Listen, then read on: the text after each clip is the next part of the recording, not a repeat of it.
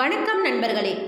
இன்னைக்கு நம்ம சேனலில் நம்ம எதை பற்றி பார்க்க போகிறோம் அப்படின்னா ஒரு கோவிலில் மூன்று கருவறைகள் இருக்குது இந்த மூன்று கருவறைகளில் மூன்று விதமாக விழும் நிழல்களை பற்றி தான் இன்னைக்கு இந்த வீடியோவில் பார்க்க போகிறோம் இந்த வீடியோவை ஸ்கிப் பண்ணாமல் முழுசாக பாருங்கள் வாங்க வீடியோக்குள்ளே போகலாம் நம்ம நாட்டில் கோவில்களுக்கு வந்து பஞ்சமே இல்லை. பலாயிரம் கோயில்கள் இருந்தாலும் ஒவ்வொன்றும் ஒவ்வொரு சிறப்பை கொண்டிருக்கு.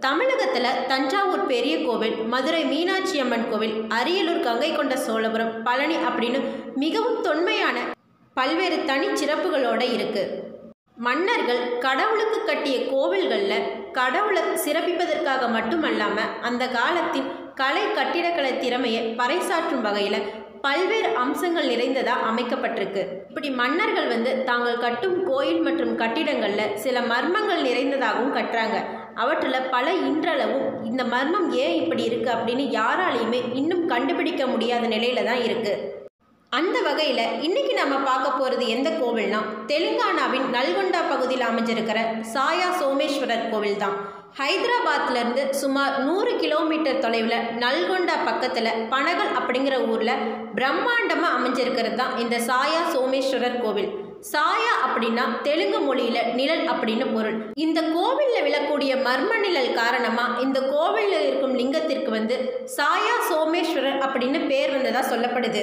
பத்தாம் நூற்றாண்டில் கண்டூர் சோழ மன்னனால் கட்டப்பட்ட இந்த கோவிலில் வந்து அக் வடிவத்தில் மூன்று அதாவது ஆயுத எழுத்து அந்த வடிவத்தில் மூன்று கருவறைகள் வந்து இருக்கு. இங்கு கிடைச்ச கல்வெட்டில் இவங்க வந்து கோவிலில் ஒரு மூல கருவறை மட்டும் அமைக்காமல் லிங்க கருவறை பிரம்ம கருவறை லிங்க கருவறை ரெண்டு அப்படின்னு மொத்தம் மூணு கருவறைகளை வச்சு அமைச்சிருக்காங்க. அதுவும் அக் வடிவத்தில் தான் அமைஞ்சிருக்கு. லிங்க கருவறை ஒன்றில் அதாவது முதலாவது லிங்க கருவறையில் விழக்கூடிய நிழலை பற்றி இப்போ பார்க்கலாம். பொதுவாக அறிவியலை மட்டும் நம்புறவங்க ஒரு தூண் இருக்குது அப்படின்னா சூரியன் நகர நகர அந்த தூணின் நிலம் நகரும் அப்படிங்கிறது எல்லாருக்குமே தெரியும்.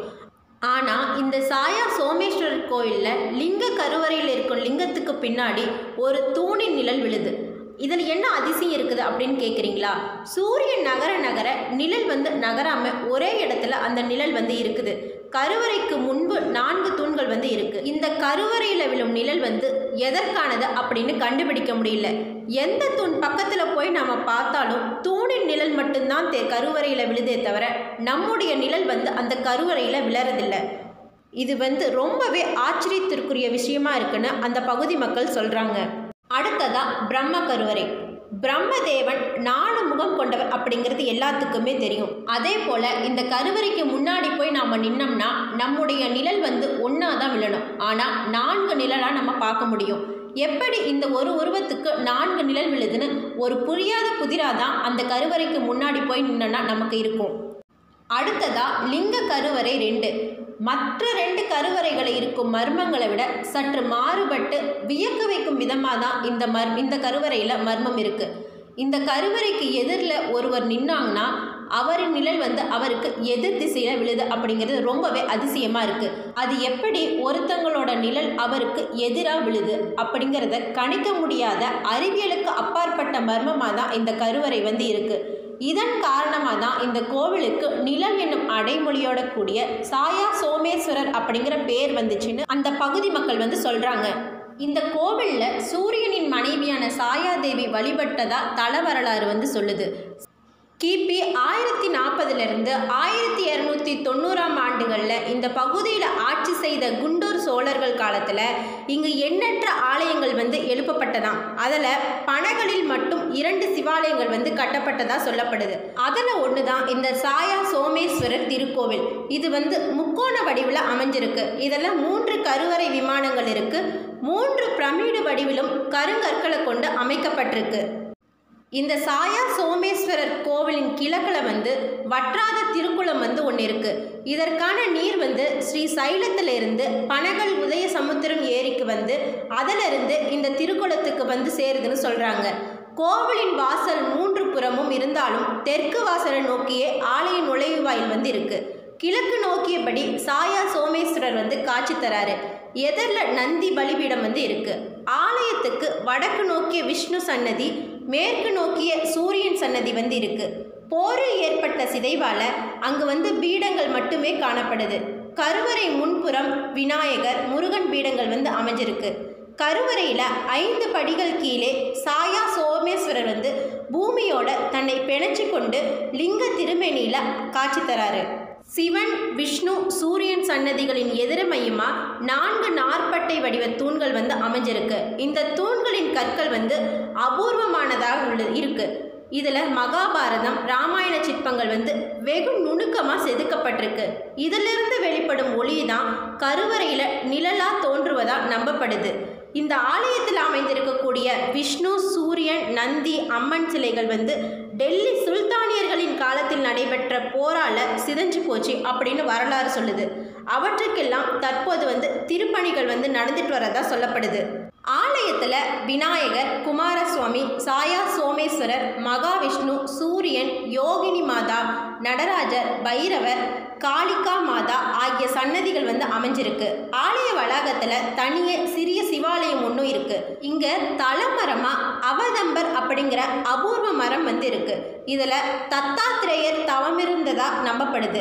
எதிரே திருக்குளம் வந்து பிரம்மாண்டமா அமைஞ்சிருக்கு. கோவில் வளாகத்துல ஏழு நந்திகள் தலை வெட்டப்பட்ட நிலையிலையும் கம்பீரமான தோற்றத்தோட காட்சி தருது. அதில் முதல் நந்தியை கழுத்தில் கைகளால் தடவி பார்த்தோம்னா உயிருள்ள நந்தியை வந்து நம்ம தழுவுனா எப்படி இருக்குமோ அந்த மாதிரி உணர்வு நமக்கு ஏற்படுமா. இது நம் முன்னோர்களின் கலை திறமையை உணர்த்துவதா அமைஞ்சிருக்கு. மூணு கருவறைக்கு மையமா உள்ள பகுதியில சதுர வடிவ நான்கு தூண்கள் வந்து அமைஞ்சிருக்கு. இந்த நான்குமே சிற்பக்கலைகளின் சுரங்கமா இருக்கு. இடத்துக்குள்ள ராமாயணம் மகாபாரதம் இது எல்லாமே நம்ம கண்ணுக்கு முன்னாடி கொண்டுட்டு வருது. அதுக்கு மானாக உருவம் எடுத்த மாரிசனையும் ராமன் கொள்ளுதல் மானின் தலை வந்து கீழே விழ அதிலிருந்து மாரிசன் வந்து வெளிப்படுதல் போன்ற காட்சிகள் வந்து அருமையாக வடிக்கப்பட்டிருக்கு. இதே போல் நீர்நிலைகளை தூய்மைப்படுத்தும் விலங்குகளை ஒரே கட்டத்தில் வந்து செதுக்கியிருப்பது சுற்றுச்சூழல் அறிவியலை வந்து நம்மவர்கள் வந்து நிபுணர்களாக இருந்துள்ளனர் அப்படிங்கிறத உறுதி செய்யும் விதமாக தான் இருக்குது பகல் நேரம் முழுசுமே லிங்க திருமேனியின் மீது அதற்கு பின்னாடி சுவற்றிலும் ஒரு தூணின் நிழல் மட்டும் விழுது.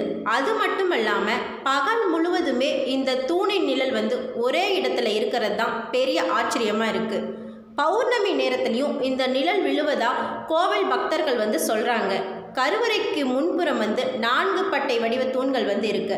ஆனால் கருவறைக்குள் விழும் எந் நிழல் வந்து எந்த தூணின் நிழல் வந்து இது வரைக்குமே யாராலையுமே கண்டுபிடிக்க முடியல. நாம் வந்து கருவறை வாசல் முன்னாடி நின்னோம்னா நம்முடைய நிழல் வந்து சுவாமி மீது விழும் நிழல் வந்து அதே நிலையிலும் இருப்பது ரொம்பவே ஆச்சரியமான விஷயமா இருக்கு.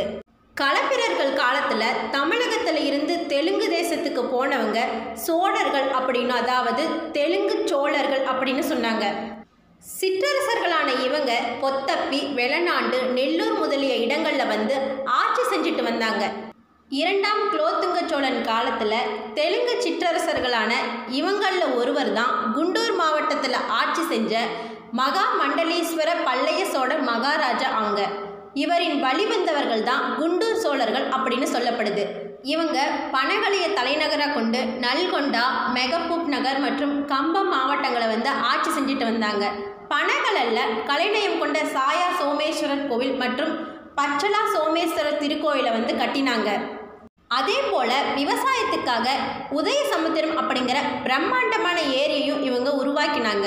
கிபி ஆயிரத்தி இரநூத்தி தொண்ணூறில் ஆட்சிக்கு வந்த தெலுங்கு மன்னர்கள் பரம்பரையை சார்ந்த காக்கத்தியர்கள் ஆட்சி காலத்தில் இந்த கோவிலுக்கு வந்து சாசனங்கள் வந்து எழுதப்பட்டதாக சொல்லப்படுது. கோவில் திருப்பணிகளும் நடைபெற்றதாக சொல்லப்படுது. ஆலயத்தில் குண்டூர் சோழர்கள் மற்றும் காக்கத்தியர் கால கலைகள் வந்து இடம்பெற்றிருக்கான் இந்த கோவிலோட பெரும் பகுதி மற்றும் கலை சிற்பங்கள் வந்து டெல்லி சுல்தானின் காலத்தில் வந்து சிதைக்கப்பட்டதா வரலாறுகள் வந்து சொல்லுது. இந்த சாயா சோமேஸ்வரர் கோவிலுக்கு போகிற வழி எதுன்னு பார்த்தோம்னா தெலுங்கானா மாநிலம் நல்கொண்டா மாவட்டத்தில் நல்கொண்டாவை அடுத்து நான்கு கிலோமீட்டர் தொலைவில் பனகல் அமைஞ்சிருக்கு. ஹைதராபாத் நகர்லேருந்து சுமார் நூற்றி பத்து கிலோமீட்டரும் வாரங்கள்லேருந்து நூற்றி நாற்பத்தஞ்சு கிலோமீட்டர் தொலைவிலையும் நல்கொண்டா அமைஞ்சிருக்கு. ஹைதராபாத்தில் இருந்தும் வாரங்கள்ல இருந்தும் நல்கொண்டாவுக்கு போக அடிக்கடி பேருந்து வசதிகள் வந்து இருக்கு. நீங்களும் இந்த கோவிலுக்கு போய் உங்களுடைய அனுபவத்தை வந்து கீழே கமெண்ட் பண்ணுங்க. இன்னும் இந்த மாதிரி பல அரிய தகவல்களை பார்க்கணுன்னா நம்ம சேனலை சப்ஸ்கிரைப் பண்ணிக்கோங்க. அப்படியே பக்கத்தில் இருக்கிற பெல் பட்டனை ப்ரெஸ் பண்ணிக்கோங்க. இந்த வீடியோ உங்களுக்கு பிடிச்சிருந்தா லைக் பண்ணுங்க ஷேர் பண்ணுங்க கமெண்ட் பண்ணுங்க. நன்றி.